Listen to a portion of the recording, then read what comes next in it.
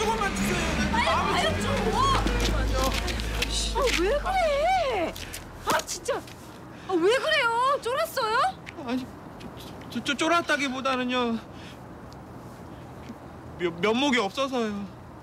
아 진짜 못났다. 어? 남자답게 좀 들어가자고요 좀.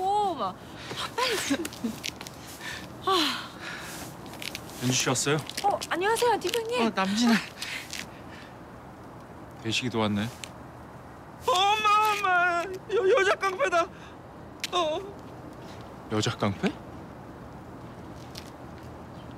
그 여자 깡패가 승주 씨였어? 혹시 또 진아 씨 괴롭히러 온 건 아니죠? 아, 아 아니에요. 지- 진아 아버지한테 용서 빌러 왔어요. 좋아요. 그럼 용서 많이 빌어요. 네, 네. 빌- 빌게요. 싹싹. 잘 왔어.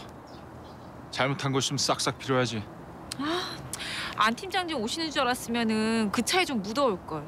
대식 씨 끌고 오느라 힘들어 죽을 뻔했거든요. 아, 참 그쪽 팀은 최시호 이사님 약혼식 갔다던데 연지 씨만 안 간 거예요? 어쩌겠어요. 제가 진아 씨 룸메니까 대표로 조문 와야죠. 자 들어갑시다.